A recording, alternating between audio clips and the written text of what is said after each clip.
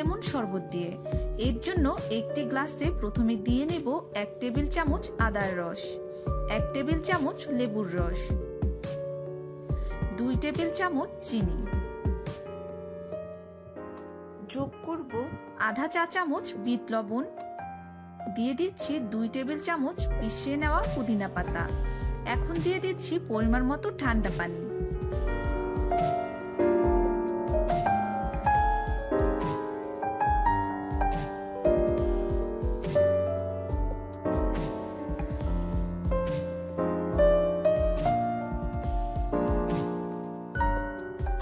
এখন খুব ভালোভাবে মিক্সড করলেই রেডি হয়ে যাবে গ্রিন লেমন শরবত।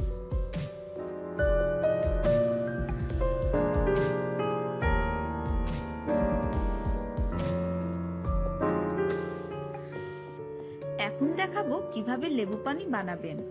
এটা ভারতের খুব জনপ্রিয় পানীয়। এখন অবশ্য আমাদের দেশেও প্রচলিত হচ্ছে।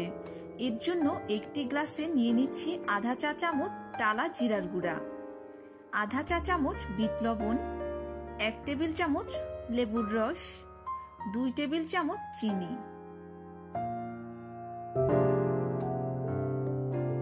যোগ করব প্রয়োজন মতো ঠান্ডা পানি।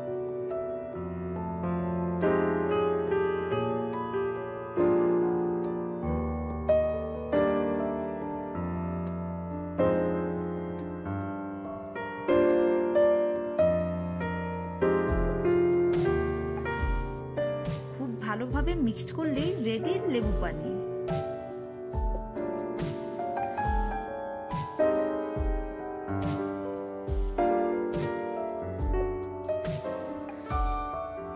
এখন দেখাবো কীভাবে খুব সহজেই হেলদি ইসুব্লু লেবুর শরবত বানাতে পারবেন। এর জন্য গ্লাসে দিয়ে নেব এক টেবিল চামচ ইসুব্লু এক টেবিল চামচ লেবুর রস, দুই টেবিল চামচ চিনি। যোগ পরিমাণ মতো ঠান্ডা পানি।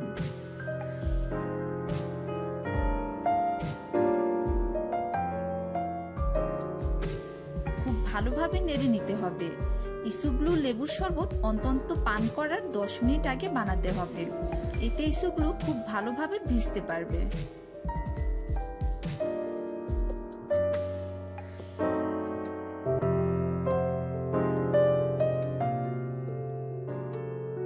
দেখাচ্ছি জনপ্রিয় লেমন ব্লু থান্ডার কীভাবে বানাতে পারবেন?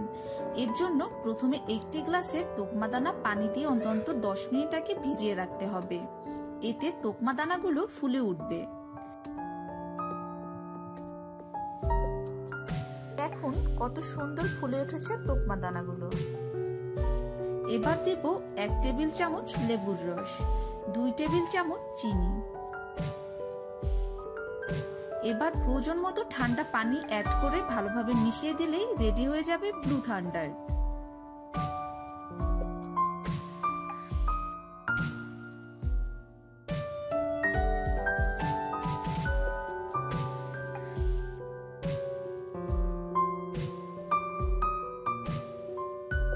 লেবুতে রয়েছে প্রচুর পরিমাণে ভিটামিন সি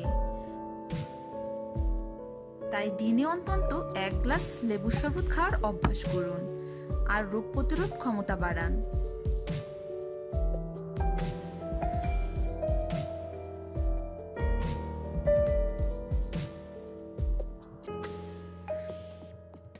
রেসিপিটি যদি ভালো লেগে থাকে, তবে বাসায় ট্রাই করবেন এবং আমাকে জানাবেন কেমন হলো। আর আমার চ্যানেলে নতুন হলে অবশ্যই সাবস্ক্রাইব করবেন। ভালো থাকবেন, সুস্থ থাকবেন।